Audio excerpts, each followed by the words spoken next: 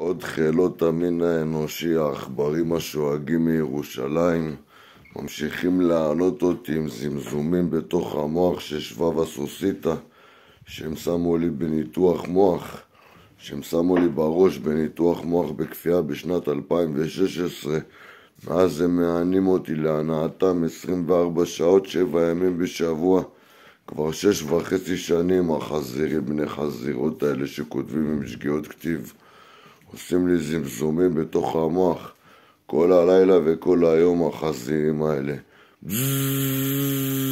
בתוך מטרה למנוע ממני שינה, חיות אדם, הם מונעים ממני שינה. וגם מתי שאני יושן הם מפעילים את זה ואני לא ישן שינה עמוקה ולא חולם חלומות, אלא במקום זה יש לי זמזום.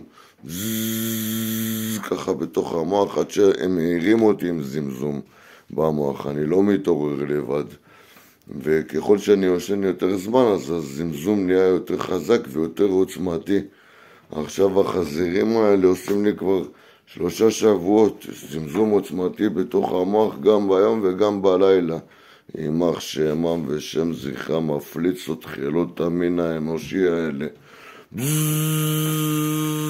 ככה עושים לי זמזום החיות אדם החתיכות חרא האלה יימח שמם ושם זכרם חילות המין האנושי. והשעה שלוש עשרים ושלוש לפנות בוקר יום רביעי 14 בדצמבר 2022 יימח שמם ושם זכרם כאשר עשה כן יעשה לו.